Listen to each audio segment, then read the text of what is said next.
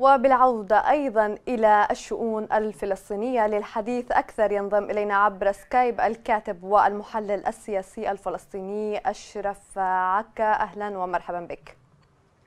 أهلا وسهلا فيك تحية. بداية يزداد قمع الاحتلال الإسرائيلي. كيف يواجه الفلسطينيون كل هذه القمع الذي يوجه إليهم من قبل الإسرائيليين؟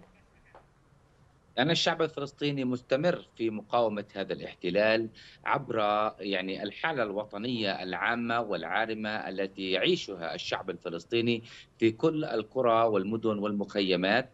هناك حالة يعني تضافر مجتمعي وهناك حالة وحدة وطنية تتجسد في الميدان وهناك التفاف جماهيري حاشد وكبير يحمي الفعل النضالي والمقاوم لهذا الاحتلال.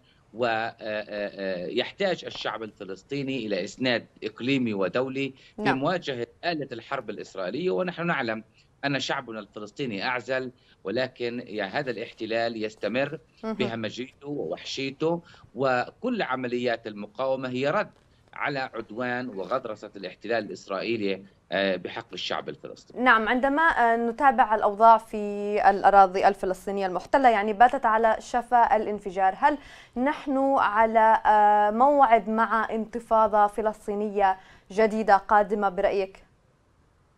يعني أنا بتقديري الظروف الموضوعية آه، آه، والذاتية لم تنضج بعد. الانتفاضة العارمة والشاملة تحتاج إلى وحدة وطنية بين شطري الوطن وإلى استراتيجية وطنية وإلى إسناد الفعل المقاوم وإلى قيادة الفعل النضالي اليومي الكفاحي للشعب الفلسطيني. ولكن حتى اللحظة لم تنضج هذه الحالة وما يجري الآن هو ردة فعل شعبية غير منظمة بالمعنى الاستراتيجي العام والشامل في مواجهة الاحتلال أما انتفاضة وإن كانت مساحة وامتداد المواجهة وشكل الفعل والعناصر التي يستخدمها الشعب الفلسطيني في هذه المواجهة امتداد يشكل كشكل من أشكال الانتفاضة العارمة ولكن في حقيقة الأمر الانتفاضة نعم. بمعناها السياسي الاستراتيجي الوطني لم تنضج يعني الظروف والعوامل والحوامل. نعم. هذا يحتاج إلى وحدة وطنية اولا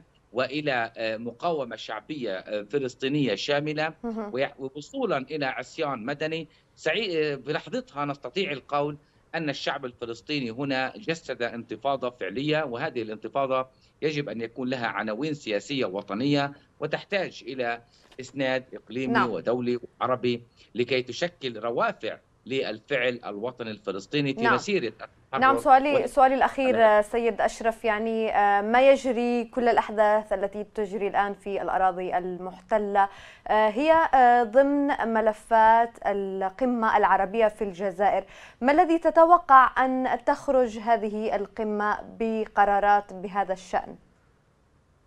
يعني في هناك حديث مهم عن شبكة أمان عربية وهي أحد مقررات يعني القمم السابقة في إسناد ودعم الشعب الفلسطيني ماليا نعم. وهذا ما يحتاجه عمليا الحالة الفلسطينية تحتاج إلى تعزيز صمود شعبنا في مواجهة الحصار الإسرائيلي وسيطرة الاحتلال الإسرائيلي على مقدرات شعبنا وعلى آه، الاقتصاد الفلسطيني وأن السلطة الفلسطينية لا تسيطر على الحدود والمعابر وهذا يعيق الحياة اليومية ويشل الاقتصاد الفلسطيني إضافة لذلك نحتاج إلى آه، آه، دعم سياسي آه، في الأمم المتحدة نعم. وقرارات جدية إضافة لذلك يجب أن يكون في هناك قرارات سياسية في مقاطعة الاحتلال الإسرائيلي وسحب السفراء ووقف كل يعني سياسات التطبيع والعلاقة مع هذا الاحتلال لأن هذه السياسة وهذه المقاربة نعم. لم تثني إسرائيل عن ممارستها القمعية بحق الشعب الفلسطيني نعم. وتنكرها